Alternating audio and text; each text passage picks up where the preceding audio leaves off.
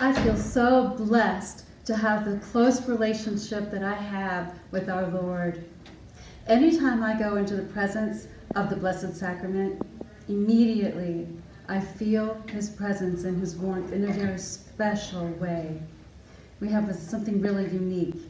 So, my usual hour is at 11 a.m. every day. I go into adoration. Well, yesterday, this thing happened that I, I really shouldn't tell you about. It. Okay, I will.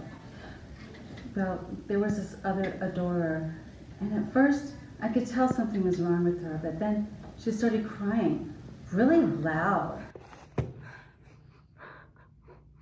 It was like, I can't even hear him talk to me right now, okay? Because you are so loud. I didn't actually say that out loud, but you know, eventually I decided somebody needed to say something. And so I very gently told her that she needed to cry in the presence of someone special. She should just go get a counselor. My soul is like a spider on the end of a long thread that God can just swipe at any time and cast me into the fires of hell. Hell is a dark and terrible place. Every time I make a mistake, I can feel the demons pulling me back. You know what it's like when you burn your hand taking the cake out of the oven or lighting a godless cigarette? It burns with a fearful pain. And what do you do? You go to the kitchen and slap a little butter on it to take the pain away. Well, I know that there is no butter in hell. Oh, oh, sorry. Um, so I love to evangelize on the internet, um, showing people the, the truth, the, the their errors, bring people to the light. Oh, come on, man. No, no. I'm usually very soft-spoken. Oh, get that slippery slope. Come on, man. We're better than that.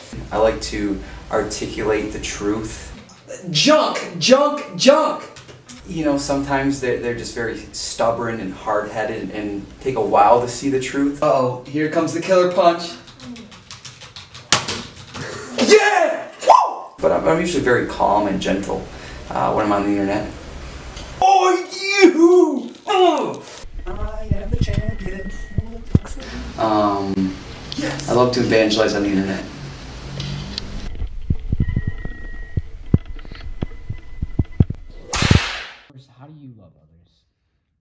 Well, I mean, first it goes to my family, um, but but all of you in this in this school too. Mr. Horse, could you help me with this oh, question? Yeah. Of course, Caleb. I love to help my students. Oh yeah. I, I try to keep it hidden though. You know? Here, Bob. Make sure you get the picture of this uh, for Instagram, so okay. I can share my hospitality. So right, right here. I, I like to to think of myself as a humble guy. All right, so we talked about the virtue of love, and before we talk about the ways that Jesus loved in the gospel, I thought we'd talk about what are the ways that I love. Oh shoot, are you good? Oh, uh, Mr. Horse will help here. Oh, okay, okay. How are you? you okay? But but really, every second of the day, I'm, I'm trying to love people. Doctor, is there a doctor? What is humility to you? How do you practice that? It, it's less of a practice; it's more who you are, and uh, humility is my middle name. All right, just know, Mr. Horse, the saint of kindness. Oh, thank you. Okay? Yeah. How do I love? Who do I love? And most importantly, is there any time that I don't love anyone?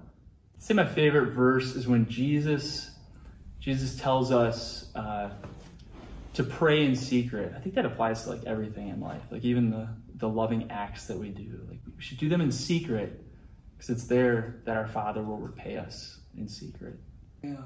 Mr. Horse, it's been like 20 minutes. I just, I need to go to the bathroom. Mary, Mother.